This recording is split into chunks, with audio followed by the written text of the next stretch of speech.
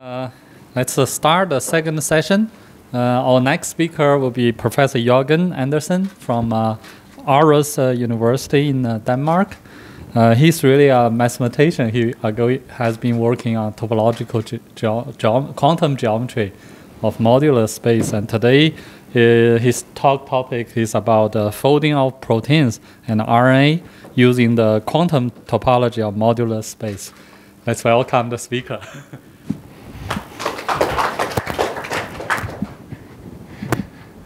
So thank you very much for inviting me here. The thanks goes to Stephen and Dika for inviting me here. It's a great pleasure to be back in Hong Kong again.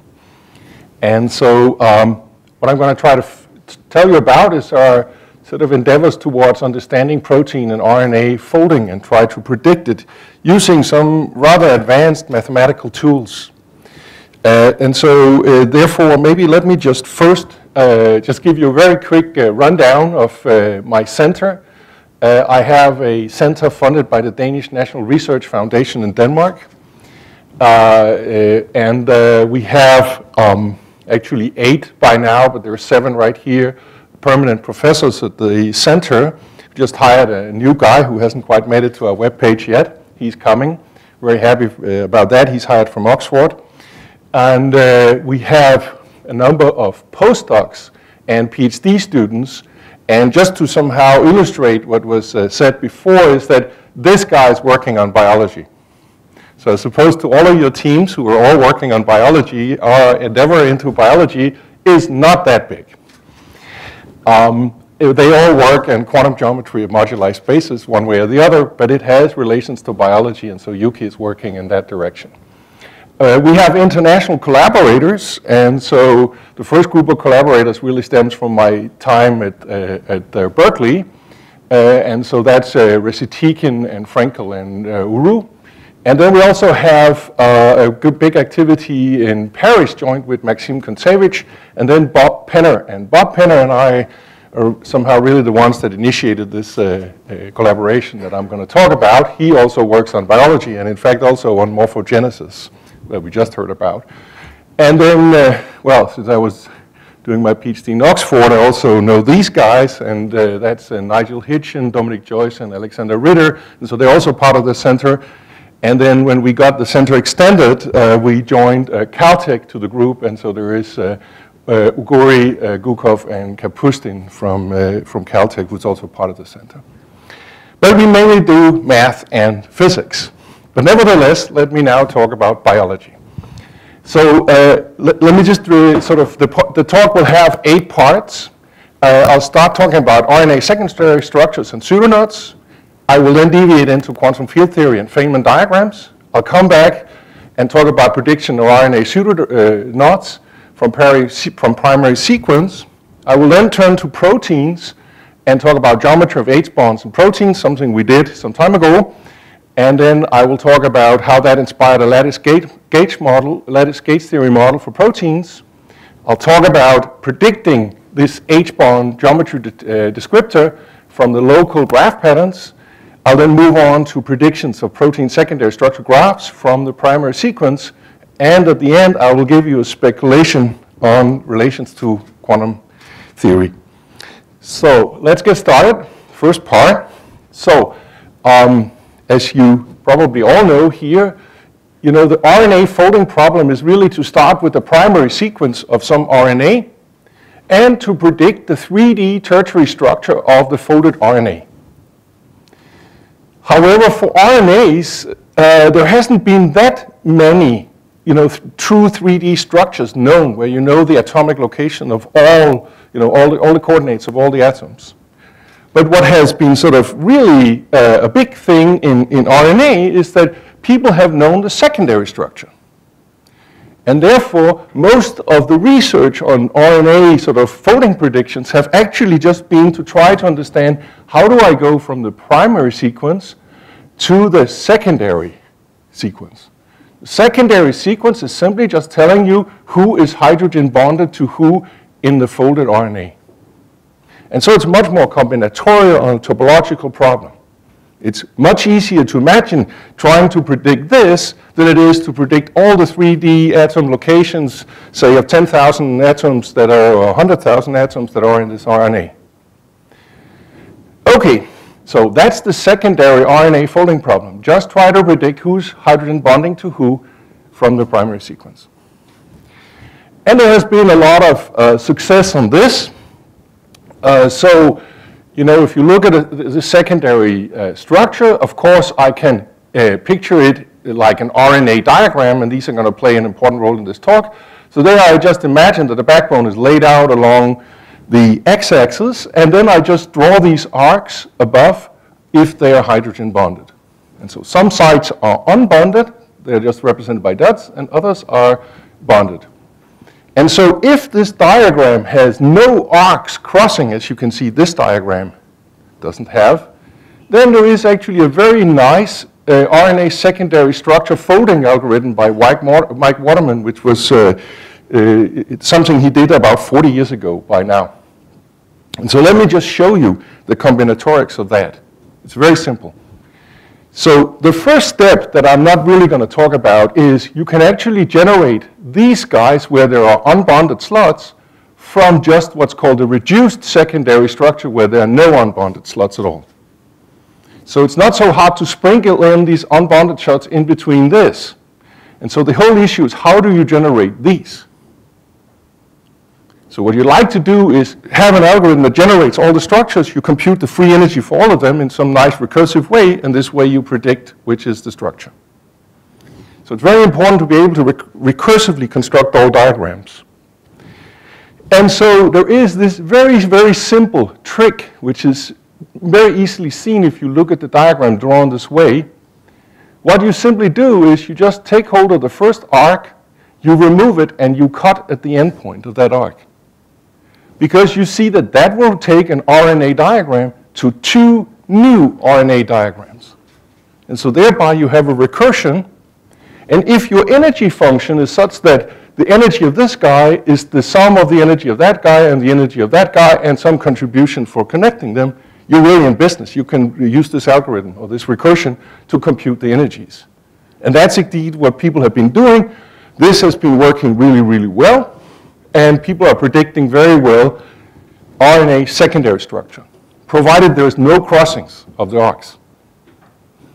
Now, in terms of numerology, if you consider uh, the number of arcs, uh, not, so number of diagrams with n arcs, and their sort of reduced secondary structures like this, what you see is that this recursion here exactly tells you that, uh, let me call them C0, for some reason that you will learn in a second.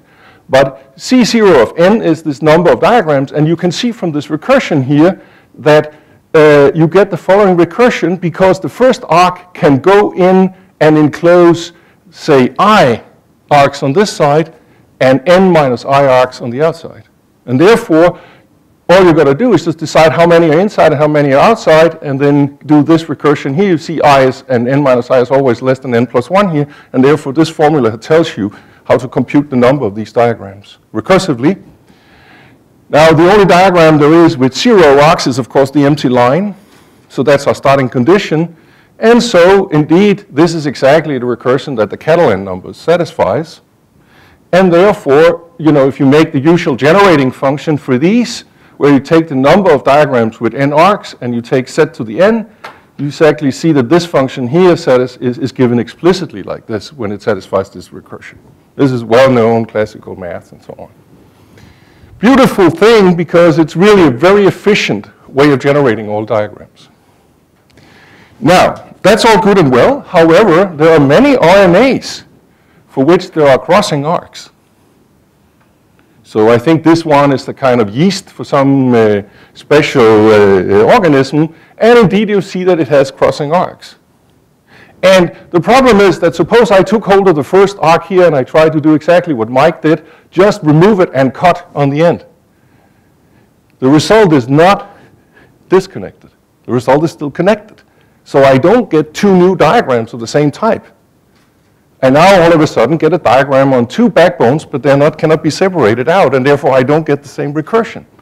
So this, this, the simple uh, trick that Mike Waterman devised doesn't work. And uh, so, so, in biology, these are called RNA uh, pseudoknots. Uh, I'll simply just call them RNA diagrams. Uh, but the thing is that uh, and Pedersen at the Danish Technical University in year 2000, they actually showed that when you consider all of these guys in one go, the whole RNA pseudoknot folding problem becomes NP complete. So that means we don't have any existing good algorithm for folding pseudoknots at the moment. We don't know if P is equal to NP complete, right? But if we do, then we would have, we'll be fine. But we don't at the moment. So then what? Well, this is sort of uh, the point where, where we started trying to think about this. And since we are mathematicians and physicists, we took inspiration from physics. And so uh, here we go. Now to something completely different, quantum field theory and Feynman diagrams. So let me just uh, start uh, by, by reminding you that the modern picture of matter and fundamental forces, including strong and weak forces and electromagnetism, but without quantum gravity, are described by the Standard Model. The Standard Model has just seen tremendous successes, right? Because the Standard Model is not consistent unless it has the Higgs mechanism and predicting the Higgs boson. And indeed, in CERN, they have in 2013 verified that the Higgs boson is there. Now, how are these uh, theories devised? I don't want to somehow try to go all into all details, but the point is that one wants to compute certain observables of various quantities and expectation values of these observables, and they are obtained by integrals of this form here. These integrals here are over infinite dimensional spaces, so mathematically they don't make sense. We don't know how to define them today. However, well, let me just show you that it's no simple matter. Here is the Lagrangian we have in mind for the standard model. So it's a huge Lagrangian with a very complicated theory and so on. And down here you see the Higgs mechanism. So you see the Higgs term, which is responsible for the Higgs boson and the generation of mass. So it's a beautiful quantum field theory that they have worked on for a long time, and they know how to compute with this, and the physicists really love it. Uh, it's a gauge theory, but how do the physicists actually compute these integrals? Well, there we have to go and ask the guy who invented these integrals, Richard Feynman. So what Richard uh, Feynman said was, well, let's uh, look at the Lagrangian. And typically Lagrangian has some coupling constant in front of it. And so what we are going to try to imagine is that the answer we want, so the expectation values we want, can be written as a sum of contributions where we have some kind of power series in this uh, coupling constant here, Planck's constant, and some coefficient in front here. And so it, nowadays, even the way they work in CERN is that they have no idea whether this thing here really exists but what they do is they know how to compute these quantities here, the coefficients. It's actually interesting that uh, if you go and go on and compute more and more coefficients, you will see the coefficients are exploding. So this, the more terms you insert in this, the, the worse it gets. But only after a certain while, because to begin with, the number of terms are going down and approximating the true thing more and more. But if you continue, it will actually explode. Anyway, the thing is that the, the key point about this is that how do you get at these terms? Well, these terms can all be written as a sum over a finite set of fat graphs, certain kinds of graphs. So a fat graph is the same as a graph, except that at any vertex, there is a cyclic ordering of the edges that comes into the vertex. That's what a fat graph is. That's important because I'm going to use the term fat graph a lot. So a graph, a fat graph is a graph together with information of cyclic orderings of the edges coming into each vertex. So the point is that these, co these coefficients we talked about before, they have an expression as a sum over a certain finite set of fat graphs. And the important thing is, if I just go back here, the, the distance you want to go into the sequence is governed by something called the genus of the fat graph. So the higher the genus is, the less it contributes in principle. So it starts with genus 0, which are the most important ones, and then genus 1, and so on, and 2, and so on. And so you're summing over a finite set of fat graphs of genus T, and then the, the specific graphs you have may depend further on the theory. We're not going to remember that, but we're just going to remember that there is a genus to these fat graphs, and I'm going to tell you what it is in a second, and that we are summing over things of the same genus only. And the contributions for these fat graphs, so the E of, of gamma here, they are mathematically well defined. So each of these uh, uh, you know, constants that go into this series that we saw here, they're well defined. It's not easy to make them well defined. In fact, it, one has to do renormalization of the theory and so on, but that's part of the usual game. And so therefore, although we don't know how to really make an expression for this, what we will do is just take the mathematically sound formula for these and try to sum this series and stop after some we don't sum all the way up to infinity, we sub subway into the series. And you know, this really works. I mean, they can predict, you know, the things they measure with 10 decimals uh, precision. So it's not hocus pocus somehow, although it's mathematically hocus pocus, but you know, it works. So the idea what we want to take away from this is could we maybe find a quantum field theory whose fat graphs in the Feynman expansion are fat graphs or diagrams like these. e.g. pseudoknot diagrams, or maybe produce a quantum field theory which can model RNA and protein folding. So that's the main idea that we're going to try to take away from this. And so at any rate, all I want to actually just learn from this right now is that there is this genus of such a, a diagram. Let me now actually tell you precisely what this genus is. So now I switch back to prediction of RNA pseudoknots from primary sequence. So, uh, just want to uh, show you the references on the papers that we have uh, written on this. And, uh, you know, it sort of varies from some semi-mathematical journals uh, to actual, you know, really biology journals and some physics journals and it also includes some of sort of the top level math journals, and we got a whole issue of a certain journal dedicated to the whole work, so, so we're very happy about that. So the math community seems to be embracing this, I mean, on the sort of really pure side. So we're happy about that. But uh, one guy you should really notice here is Bob Penner, because Bob and I are somehow the two guys that reoccur on, on all of these papers. Okay. So what is this genus? Well, take an RNA diagram like this, and then you just imagine that it's lying in the plane like you see it, and then you reduce the fat graph structure from the plane. That means you just def define a little skinny surface that runs along the edges, and when you see the vertices here get coming with the edges coming in, you just draw it planar like this. So that's this little surface, a little skinny surface that you have associated to any RNA diagram. So when you have such a surface, well, the classification of surfaces says that uh, all the, the only thing you have to know is that whether the surface is oriented or not, all these surfaces will be oriented. Then you have to know two things. You have to know the number of boundary components the surface has, and you have to know the genus. Then you know the surface up to classification, up to diffeomorphism.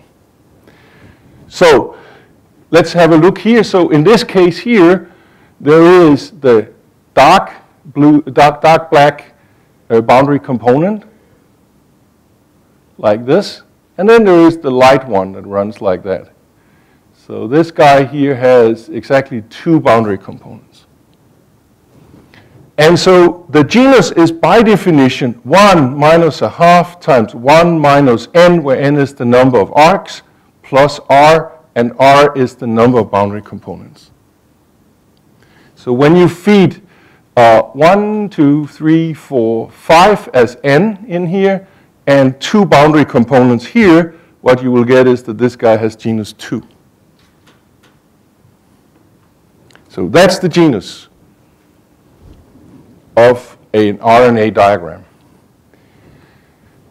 Now there's a little nice fact about these things is that if you have an RNA diagram with no crossing arcs, that is exactly mathematically equivalent to G being zero. So it's if and only if. So the genus zero diagrams is, in other words, the one that Mike uh, Waterman dealt with. It's the first in the language of quantum field theory in the perturbation order.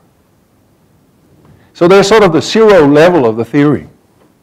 But we very well know from quantum field theory, you cannot just take the, the, you know, the leading order term, you have to adjust it by the higher order correction terms to get the right answer. And so therefore it's important now to simply say, let's actually now filter the RNA diagrams by genus. So that's what we started doing. We said, okay, let's actually not look at all of the diagrams in one go because we know that's NP complete. Let's actually try to focus on the classes one genus at a time. So in terms of numerology, I'm now going to define CG of n to be the number of reduced RNA diagrams of genus G with n arcs, just like I did with C0 before. Okay. Then I'm going to produce the generating function like this. And now I would like to understand, first of all, before I start understanding how to generate all the diagrams, I would like to know how many diagrams are there, how do they behave as a function of g and n and so on. Okay. So in order to do that, I have to introduce a new concept which is called RNA shape. And an RNA shape is a reduced RNA diagram. So reduced just means that it doesn't have any of these guys here doesn't have any unbonded guys. That's reduced, remember that. So therefore A does not qualify for a shape. Every stack size, now what is a stack size? A stack size is simply a set of parallel chords with nothing, nothing in between the two ends. So for example, this is a stack size of 2, this guy is a stack size of 3, this is a stack size of 2. So every stack size has to be 1. So that means this, this also disqualifies A, it also disqualifies B because there's stack size 2 here. It doesn't disqualify C and D because there are no stack sizes that are bigger than 1 here, right? There are no parallel chords, or parallel arcs, sorry. No one arcs. So a one arc is something like this. I don't want a one that just comes back to the, to the, the guy next, next after it. There are biological good reasons why we avoid those, but also mathematically good reasons. And then finally, a little bit technical, I want that it has a rainbow. A rainbow is one arc that starts from the first node to the last node. This a technical reason. But so a shape of an RNA is, of the, is by definition a guy who satisfies all these constraints. Every stack size is one, no one arcs, but it has this rainbow over. So C is the only guy that qualifies for that. Okay. So what I can do now is I can do a similar enumeration of those guys. So I'm going to define SG of n to be the number of RNA shapes of genus G with n arcs. And I'm going to define the generating function just as we have done before for those numbers. Now I'm going to try to understand how are their relation to the all the diagrams of genus G. And so it turns out that there's this very nice, beautiful formula that tells you that if you know SG, you can actually compute what CG is, given that you know C0. And remember, C0 was this thing that was given by the Catalan numbers, so we know that guy already. So therefore, I will actually be able to compute how many diagrams there are of a given genus, depending, I mean, the whole generating series of those, depending on the number of, of, of arcs, right? Uh, that is, that's the power of Z, just by this kind of simple insertion. And in fact, not only this, if you look at the proof down here, this proof actually is an algorithm that tells you that if you start with a shape, if you start with a set of shapes, you can actually generate all diagrams of genus G in a very simple way. So let's look at a shape again. So for example, take this, this guy here. What you have to do in order to generate, so let's take this guy here. Uh, actually, sorry, this guy here, because that's the shape what you need to do in order to generate all genus 1 diagrams, because this guy has genus 1, is the following. You just take the three arcs that you see here, and then you cable them. First, you cable them up to size j, where j is any integer running from 1 to infinity. Then you put a little uh, genus zero diagram in front of the first point where this edge ends and the last uh, uh, point where the edge ends. So you do this for all three of them. You cable them to size j, and then for in front of each of those resulting j arcs, you put an arbitrary C, genus zero diagram in front in both ends. So this is, if I just go back and show you the formula here, when I take this insertion here and just use the equation that C0 satisfies and rewrite the whole thing, you see it's a sum j equals 1 up to infinity of set to the j and C2 to the 2j. So that's exactly what it says here. What you do is you take any element from, uh, that is a shape, you uh, take and inflate each of its arcs to a stack of cardinality j, and then you insert a genus zero RNA diagram immediately preceding each of the resulting 2J arc endpoints. And then finally, this term here, you can also add a genus zero diagram to the end of that shape. Now this is a complete generation of all diagrams if you know how to generate shapes. So if I know somehow how to generate these guys, I'm in really good shape because then I can generate all the rest from those. So now the question is, have we seen these RNA shapes anywhere before? Well, let, us, let me just show you some of them. So for example, if the genus is zero, the only shape there is is the empty line with no chords on it. So that means that the generating function for genus zero guys is one. The genus one guy well, there are actually four of them. Here I've drawn them without the rainbow. I'm sorry, there should have been a rainbow over, but I didn't have my graphic tools with me here. So they are drawn without the rainbow. But there are exactly four guys that are shapes. You see this guy here corresponds to the set to the three term because there are three arcs, the two you see and the rainbow I forgot. These two guys here have four arcs, the three you see plus the rainbow I forgot. So there are two of them, so that gives you two times set to the four. And then the last guy here has five arcs, the four you see here, and the rainbow, and there's only one of them, and so that gives you set to the five. So the generating function for the shapes of genus 1 is just that. So it's not a huge, I mean, sort of, it, it's a finite set.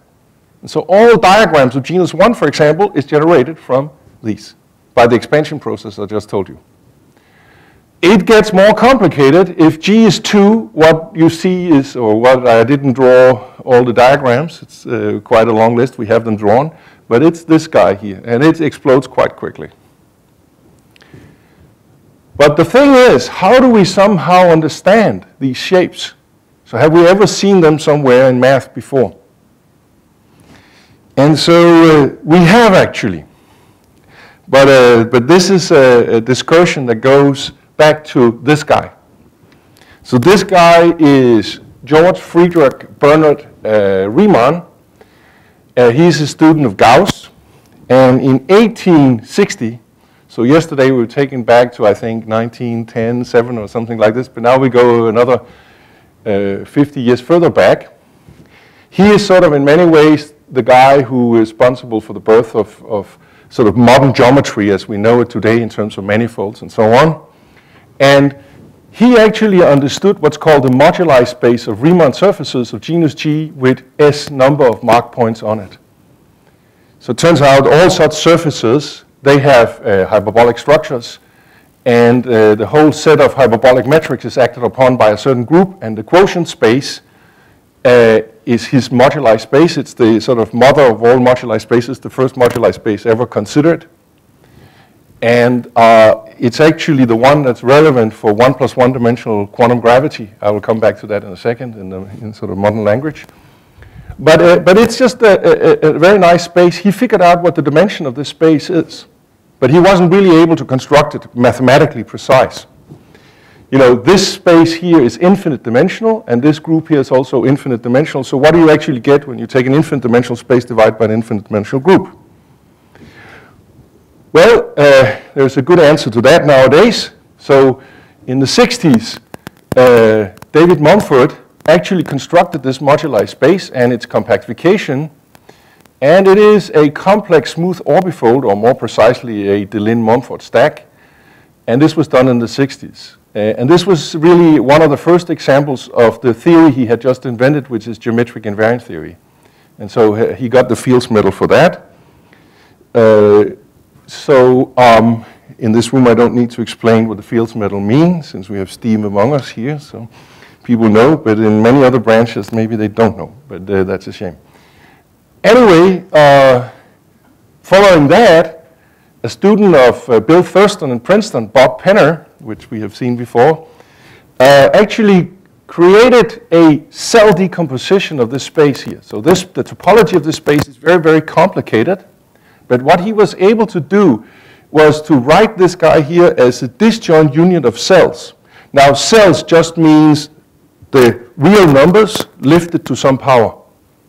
So just a space, absolutely no topology whatsoever. It's just the real line cross the real line cross the real line, you know, R1, R2, R3, and R4, and so on. So Euclidean space with some dimension.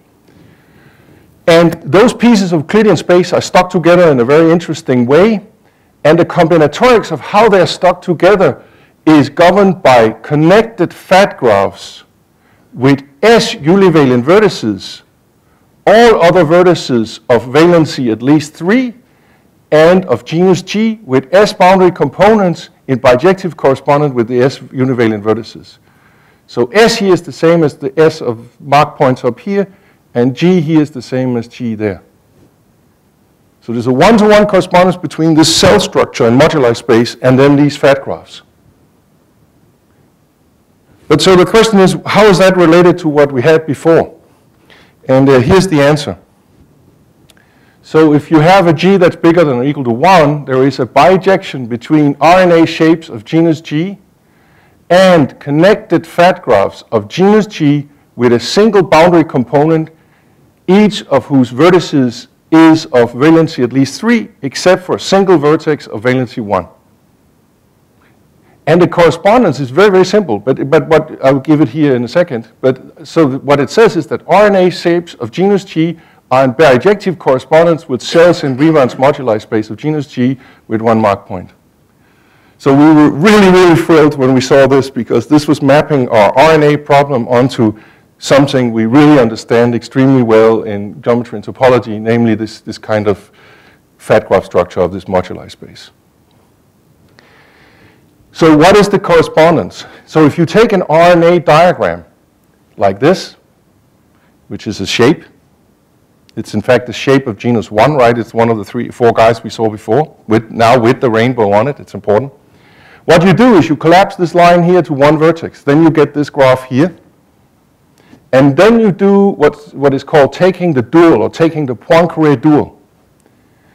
That means the following. This, this guy here is just, re remember, representing a very skinny little surface where each arc has a little band around it, right? So it has boundary components.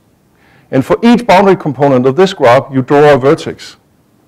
And if two boundary components share an edge, you join them by an edge. So the Poincare dual of that graph is this graph. And this graph here indeed is a graph that has one univalent vertex, and then all the other vertices have valency at least three. And if you track around this guy, you will find that he has exactly one boundary component and it's in bijective correspondence with that vertex. So they are exactly allowed. So that means we mapped our problem onto a classical problem in, in topology and geometry, namely counting those guys here and constructing them. Well, great, because now we can look in the literature, because Harer and Zagier in 1986 actually solved the problem of computing the number of cells in cell decomposition. And in fact, Interestingly enough, they actually wrote their recursion exactly in the CG function we had before. So they went the other way. They started with the shapes. Then they defined the shapes by this crazy formula we had before. So they started with the shapes, S, SG, which are the cells. Then they made this combination, funnily enough. And then they showed that that combination is determined by this recursive formula on the coefficients. In fact, they went on to show more. Namely, if you look at the generating function for genus G diagrams, it is exactly of this form here. So where everything is known explicitly except for this polynomial.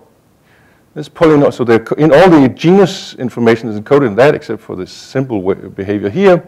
This polynomial has integer coefficients. It is of degree at most 3g minus 1. And then there are some further properties. I just want to highlight this. It starts at set to the 2g, and it goes up to, to set to the power 3g minus 1. So its span is g. Um, it has some more properties, but uh, the thing is that we have here tabulated the first five ones. And what you notice is that, uh, you know, what do you notice about these polynomials here? So in math, when you write, I want to emphasize the following. When, in math, when you write integer coefficients, you allow negative numbers. But these guys here, they don't, you don't see any negative numbers here at all. And the thing is, it's, it's sort of, so I, I want to mention one open math problem in this talk here. And the open math problem is about these guys here. Sorry, let me, so okay, I'm, I'm going to get to that in two slides. But I want to emphasize, notice that all the examples here have positive coefficients. Okay. Now, how are these PGs related to the SGs we had before? Well, they're actually related and absolutely straightforward. So the SGs can be computed explicitly by this very nice formula from the PGs. So what you see is that if you look at the, at, at the PGs like this, there is this kind of special insertion you have to do to the PGs to get to the SGs. Now, the SGs have positive coefficients by definition because the SGs are generating functions for shapes.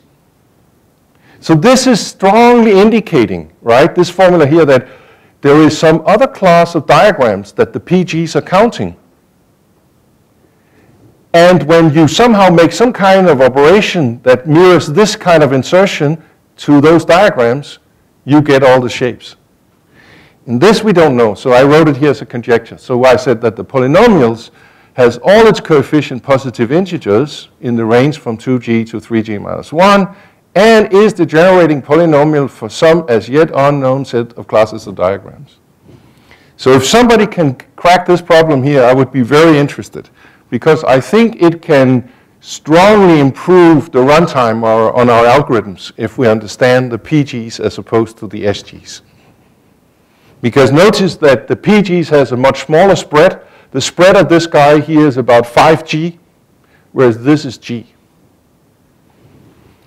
So if there are any youngsters, and I see a number of people in the audience who fits this, um, let me know if you can crack this one. In fact, all of you are welcome. Okay. Let's see here. Yes. So that's great. Math actually gives us some of the answers that we really want here. Now, the question is, does this actually really work for biology? Okay, so let's, let's talk about that. So for that, we have to talk about RNA sigma structures. Because remember that uh, shapes were the kind of structures where you didn't see any twos or threes like this in parallel. But that's, of course, extremely non-biological because RNA likes to fold just like DNA does in superhelices or this, this, this helix, right? And so you almost never see just one connector like this. You see a stack of hydrogen bonds. For a while, then it breaks the pattern, makes new uh, stacks in other directions. So therefore, it's totally unbiologically to just enumerate those guys. What you should be able to do is you should be able to control the stack size. And also, this guy here is not really at all allowed in, in biology because, because of sort of the way that the whole chemistry is built, it cannot bend back on itself and hydrogen bond itself one, one go over.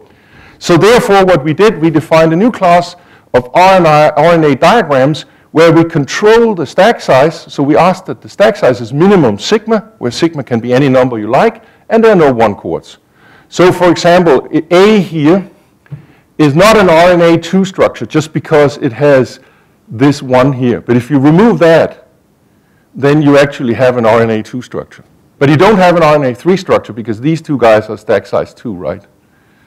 Uh, like, actually, the only guy that really fits the whole definition is this guy here, B. That's an RNA2 structure. But not an RNA3 structure, although these guys have stack size 3, this guy only has stack size 2. Okay? C and D are not RNA2 structures, they are RNA1 structures. Okay, now the question is how do we enumerate and how do we generate such diagrams? Because those are the ones that are relevant for biology. Well, the thing is that if we now define, uh, you know, D sigma n to be the set of RNA sigma structures on n vertices, and this dg comma sigma of n is the subset consisting of such structures of genus G. Then, of course, we can make a corresponding generating function. We can take the number of such diagrams and put it into a generating function. And it turns out that the generating function for these has a very simple formula in terms of just a substitution out of CG. You simply just make this simple substitution here where u sigma of z, the one that depends on sigma, is this explicit function here. And this kind of substitution we understand on the level of construction of diagrams. It's just done by a similar method as I talked about before, where you just cable shapes up to the necessary size.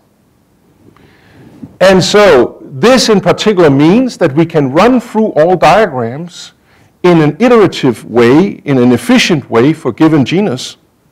And that means that we have a corollary of this theorem here, because this comes with an algorithm, that we have a minimum free RNA, minimum free algorithm for generating all RNA structures of a fixed genus.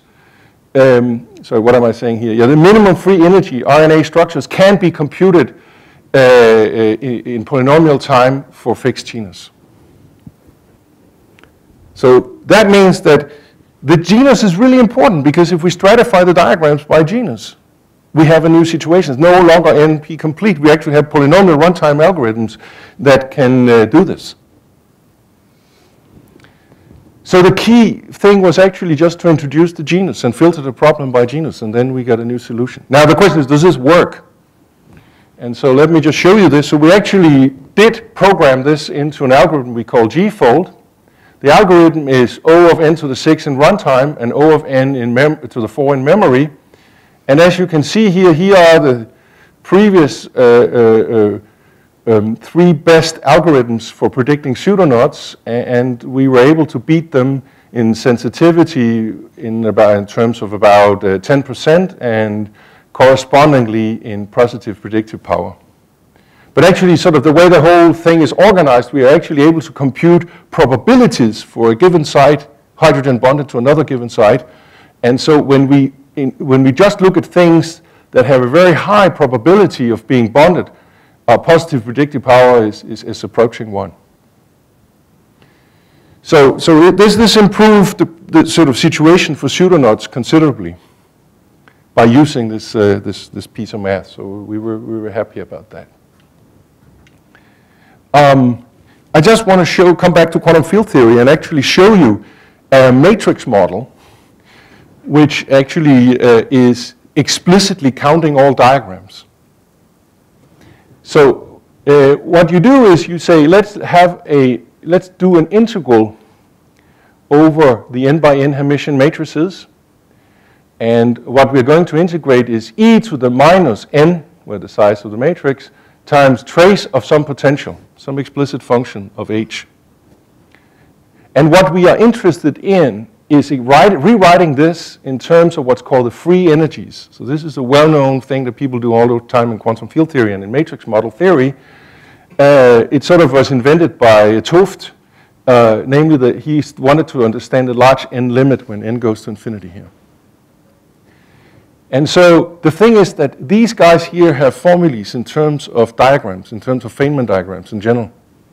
But the neat thing about the following is that if you take the following potential, so if you take the Gaussian potential and you deform it by this explicit expression here in S and T and X, you apply that up here, you do this matrix model, and you do the asymptotic expansion of this, the theorem is that the free energies, which are now functions of S and T, is some constant we don't care about, plus, and then the CGBs. And what are the CGBs? CGB is the generating series for the number of genus G reduced RNA diagrams on B backbones.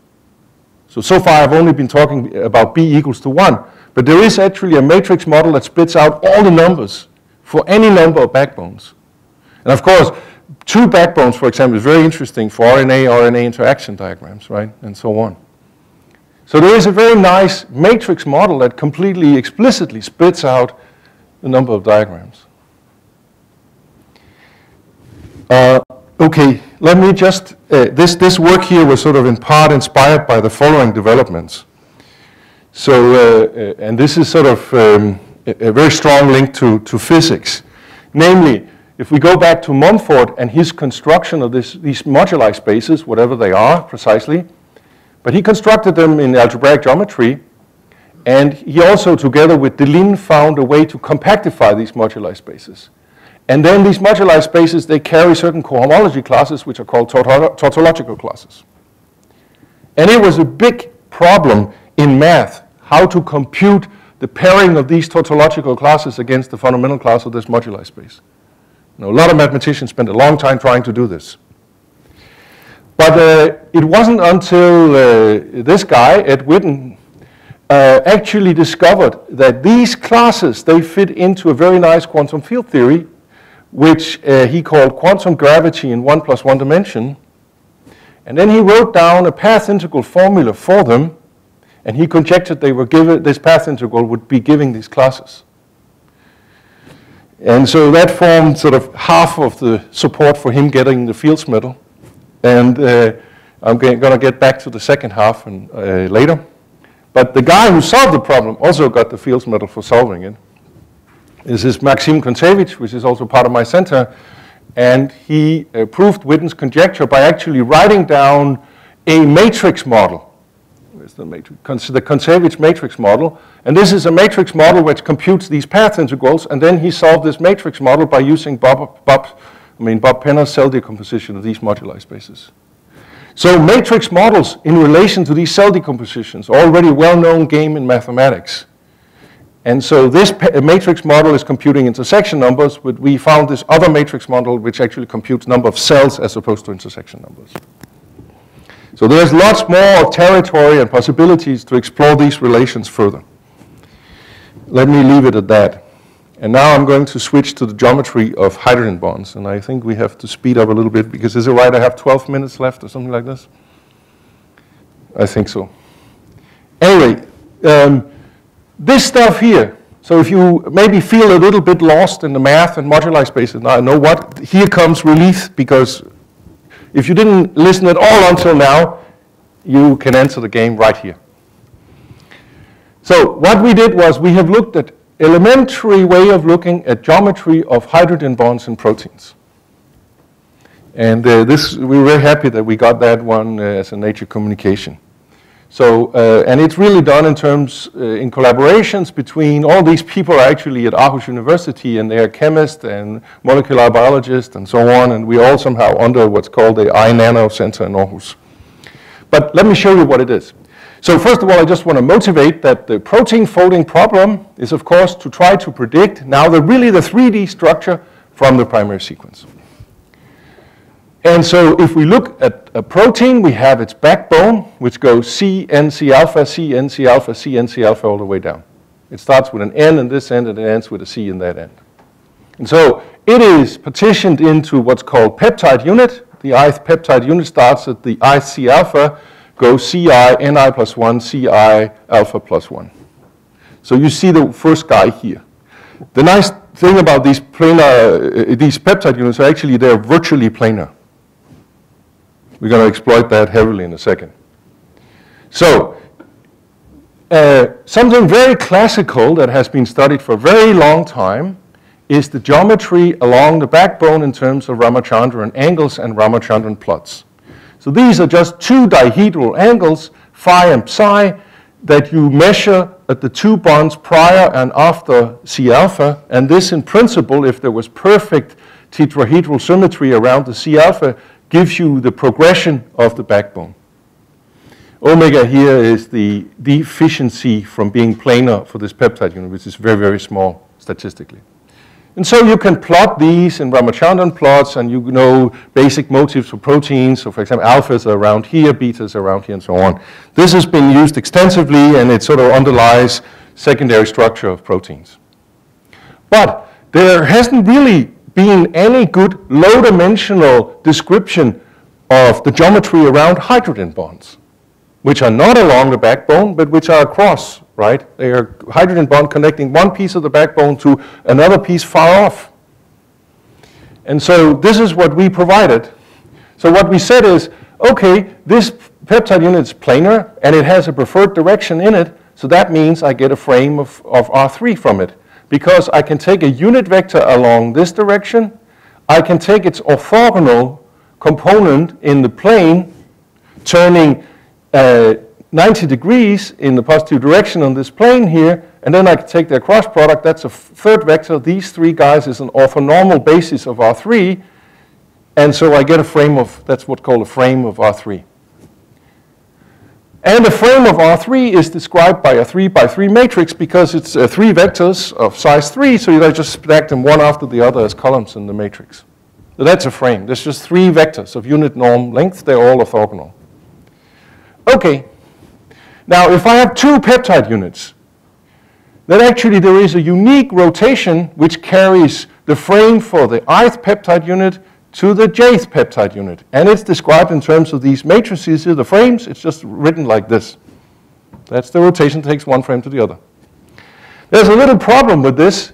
Namely, if I take the entire protein and rigidly rotate it in three space, this guy here will, not, will change because I will conjugate this rotation. By that rotation, I rotated the whole protein by. So therefore, this guy is not such a good a descriptor because it depends on how the crystallographer puts the protein in three space. And we don't want to be dependent on that, of course. But if you do the following, and that's sort of a well-known thing in lattice gauge theory, you gauge the problem. That means you take the, rota- you take the two guys, here's one peptide unit, here's another peptide unit, I have the rotation up to this, and I have rotation up to this. If you take the entire protein and rotate it in such a way that the first guy is in standard position, then this rotation here will be a good rotation description that is independent of how you rotate the protein in three space. So that rotation, so written, it turns out that it's just the product in the opposite order. That rotation is well-defined 3D descriptor. And I can associate that to any hydrogen bond because in hydrogen bond, say, goes from H to O. So I put, first put H in standard position, the peptide unit with the H, the donor, and then I measure the rotation over to the uh, oxygen, the guy with the oxygen. That's the descriptor we, we uh, put our finger on. Uh, and what we now did was actually to sample this. So, so what the paper does is to say, let's look at all possible hydrogen bonds, and then look at the subset that gives inside the space of all rotations when we vary over all hydrogen bonds, over all proteins. Now, we have to be careful about that because what we have to do is we have to go to the protein data bank, it contains many proteins. It contains 142,220 at the moment. What you have to do is you have to somehow curl the database so that you don't take oversample because the, it's not a uniform sample of all proteins. You have to sequence, align, and blah, blah, blah. And also you have to use certain algorithms for selecting when there is a hydrogen bond. We chose the DSSP standard. And so what we do is we roughly get a million hydrogen bonds out of the protein data bank. And then here's the picture of them.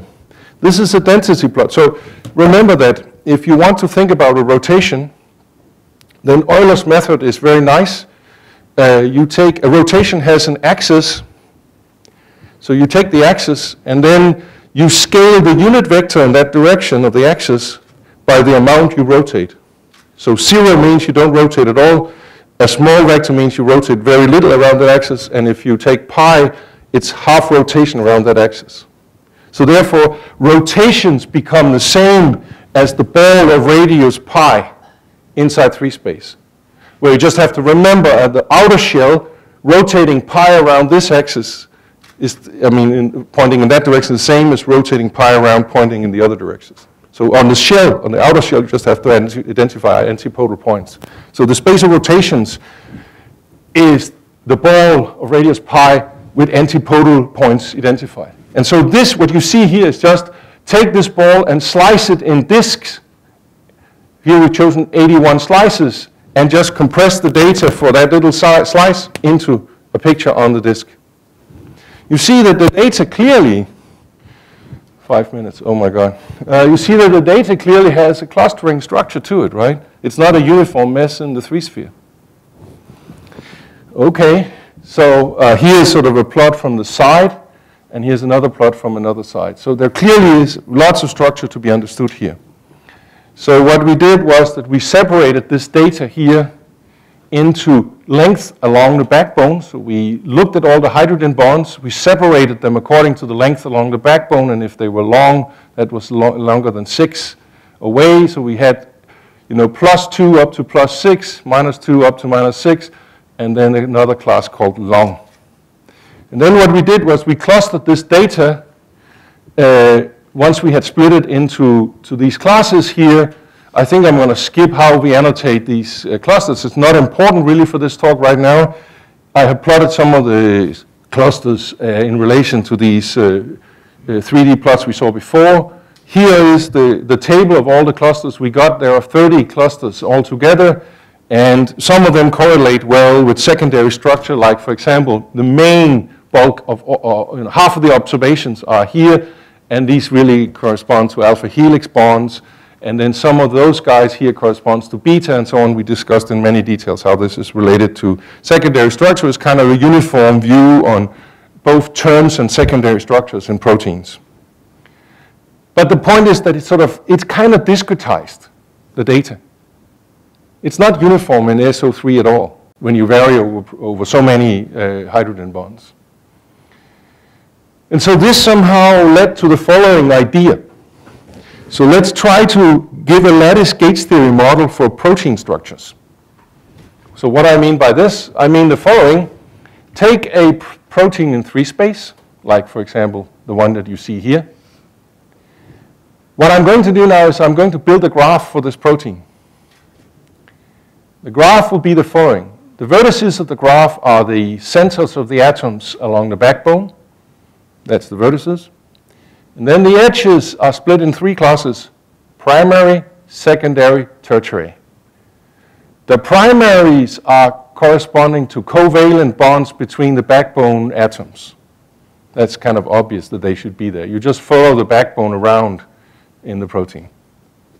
That's the primary edges. The secondary edges come from hydrogen bonds, and the tertiary edges come from tertiary contacts between C alphas. So there's some way, various ways you can define this, but for any way of defining this, you will get some graph like this. So this is abstractly a graph that you can associate to a protein. And what you can now do is you can associate a moduli space to this graph. It's very standard in math to look at the following. You look at all possible associations of rotations to all the edges, and you divide by overall rotation of the whole thing. This space has actually what's called a holonomy map. It's a map from this moduli space to a smaller moduli space that just remembers what the rotation is along the secondary and the tertiary edges. And if we define MP to be the inverse image of 1, so repeat 1 as many times as there are factors here in SO3, the identity, then this guy here is exactly in one-to-one -one correspondence with the 3D, possible 3D configurations of the backbone of the protein in three space. So that means we have a much larger space to work with, which is this moduli space, and inside there we have a small thin subvariety, which is the inverse image of 1 of H, and they correspond to the true protein structures that are possible. And so you could say, well, what's the need of what's the need for that? Because you just made the problem worse because you just made the space bigger. But the thing is that by making the space bigger, I have an option to actually guess what the hydrogen, what the rotations is for all the edges independently, and they may not fit to give some structure in three space. But I have a home for talking about independent guesses. So um, that's what I'm saying on this slide here, actually. So I'm just saying that if you have a mechanism that kind of predicts what the rotations are for the three different kinds of edges that you see here, then that can be considered inside this big moduli space. This is not a prediction that corresponds to any protein at all, because it may not be possible to realize this guy in three space, But then there's something, some technical stuff here I want to go over very quickly. There is a way to turn on a certain gradient flow that will flow this guy towards this subvariety which corresponds to genuine protein structures. So this allows us to say, okay, we are going to try to see if we can guess the rotations or predict them by some means independently for all the edges and then uh, build the true structure, a guess for the true structure from there. But then we can go further on and say, okay, what if uh, this graph, this just this abstract graph on its own, were actually determining the 3D structure of the protein to some accuracy? And so if that was possible, then we could reduce the, the folding problem to a simpler problem. Namely, first you take the primary sequence, then you try to predict the graph. From the graph, you predict all the rotations. You flow with this uh, um, gradient flow to an actual prediction. And so therefore, what we need to do now is we actually need to analyze whether the local structure of the graph actually determines the geometry of, say, the hydrogen bonds. And the geometry of the hydrogen bonds are described by this rotation. So in other words, we want to try to understand, if I just take a very small snippet of the graph like this, and I assume that that is known by some other mechanism, and I then want to see, can I determine what the rotation is here at this central A bond by just knowing the pattern of the hydrogen bonds nearby? And so this is actually what the next uh, section is about. We did indeed make this analysis. We isolated our patterns and we tried to look, does the pattern locally determine the rotation? And indeed, statistically, it does so very well. In fact, 85% of all hydrogen bonds can be predicted within 0.1% of the volume of SO3, so a very narrow region. And if I go to 90%, I can predict 90% within 1% of the volume. So that means the local pattern of the graph actually determines what the rotation is.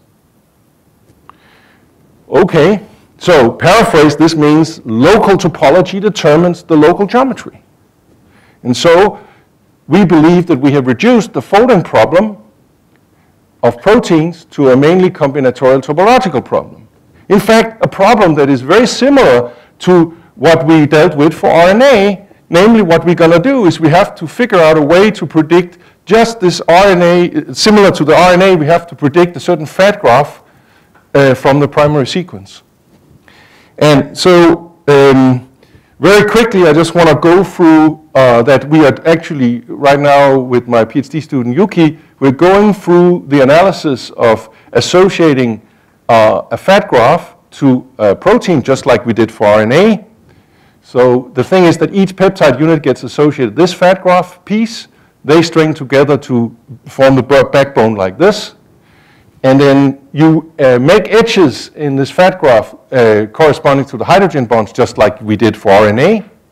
And the result is a certain fat graph that represents sort of what we call the secondary guy because it only remembers the hydrogen bonds. And this guy, just like for RNA, has a genus. So we can filter the diagrams exactly the same way. And what we have so far is that we have a cut and join method which proves recursive enumeration formula for these guys. We have an algorithm which in polynomial time generates all the fat graphs of a bounded genus for a given length on the backbone. We're working on producing minimum free uh, energy algorithms in analogy with RNA, which is applicable to these protein situations. Okay, so, so that is sort of uh, as far as results are concerned in this talk.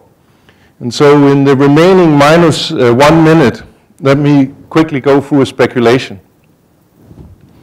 The speculation is as follows. Consider these moduli spaces. These moduli spaces actually form the two-dimensional part of a quantum field theory that Witten studied. This is the second reason why he got this Fields medal. This, because he showed the following theorem. This quantum field theory actually reproduces the Jones polynomial. The Jones polynomial fits into a TQFT, he said, fitting the axioms of Atiyah and Segal and himself. And so the Jones polynomial, which Vaughan got the Fields Medal for, except that he also, of course, worked on subfactors, uh, which gives you representations of braid groups. Uh, this is going very fast, I know, but you don't need to understand much of the details so far. Just understand that there are some quantum field theories. And what this slide says is that there is a mathematical construction by Reshetikhin and Turaev of this quantum field theory. And together with Kenji Ueno, I actually proved that the quantization of these moduli spaces fit into this combinatorially constructed quantum field theory.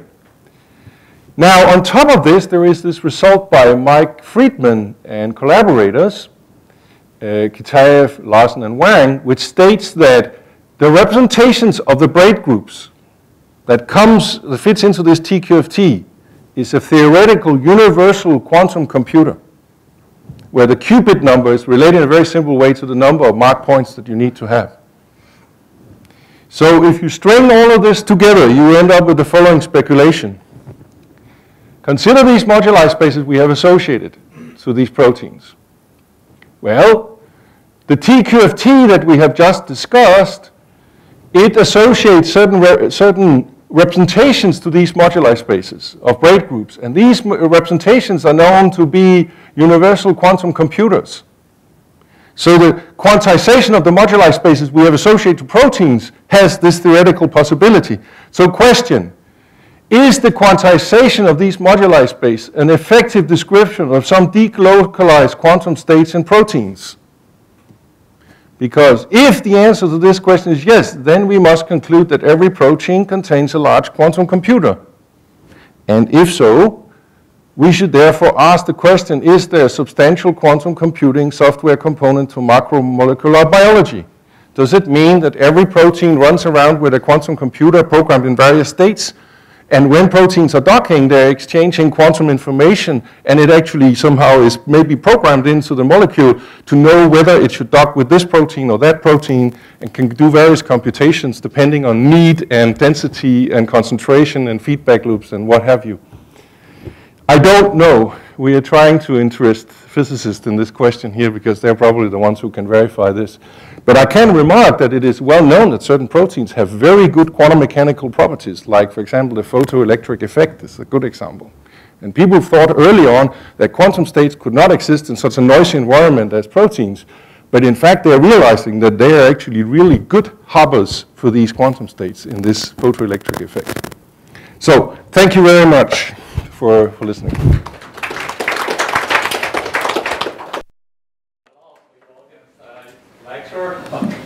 Geometry, topology, and quantum, and protein. Any questions uh, about these lectures? Guess uh, it's too wide, really a wide topic. So I have one uh, temporary question yeah. about the free energy you mentioned, minimum free energy for yes. RNA, uh, uh, say the topology.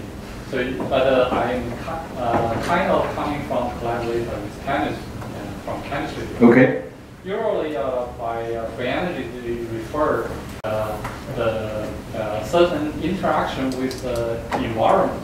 Yeah. And uh, what, how much probability you see the RNA, RNA structure with, with the interaction with the environment, for example, like the hairpin.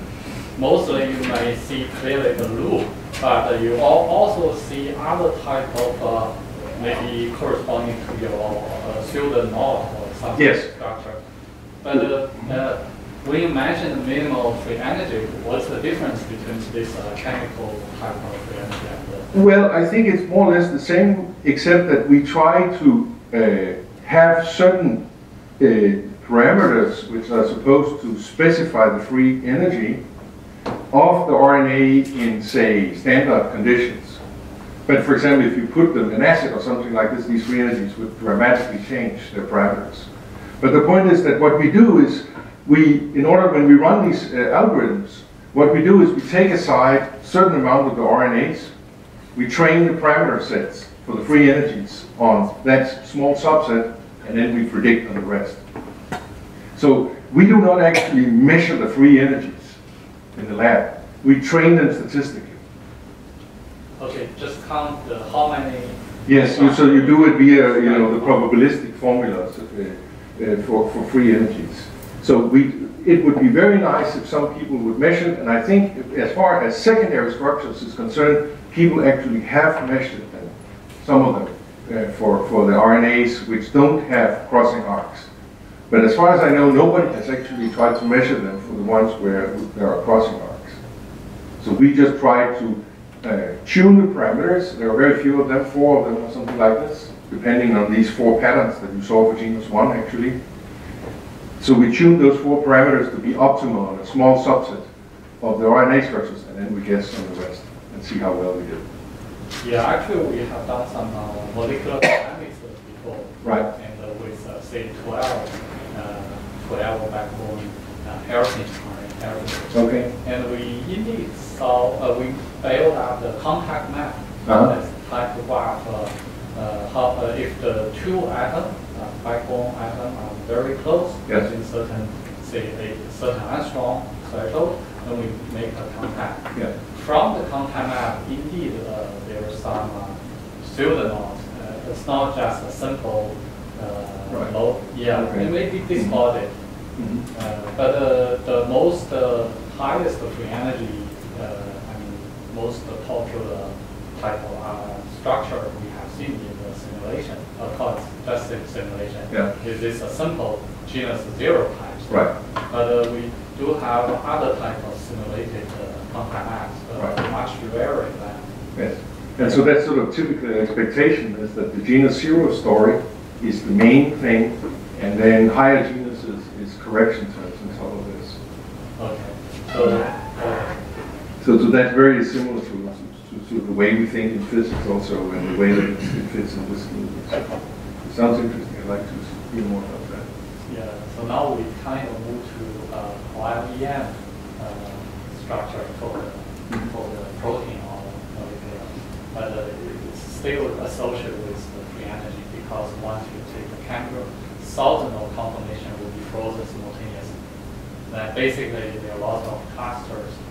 I'm not sure whether this type of classification uh, may give us some uh, how much probable we can expect within. I certainly expect that it's getting less and less probable as the genus goes up. That's what we see. Okay. Okay. Other questions? Okay. Uh, if no question, let's thank the speaker. Thank you.